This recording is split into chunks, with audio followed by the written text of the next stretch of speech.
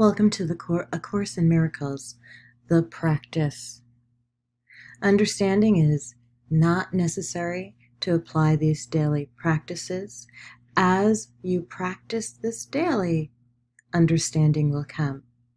Some of the exercises, all of which are simple, over the next 365 days, your mind will want to resist.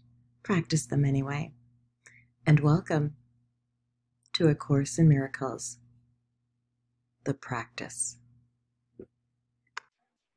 Welcome to A Course in Miracles, the practice. Today we are on review practice prompt 211. And the prompt for today's practice is I am not a body, I am free, for I am still as God created me. I am the Holy Son of God Himself.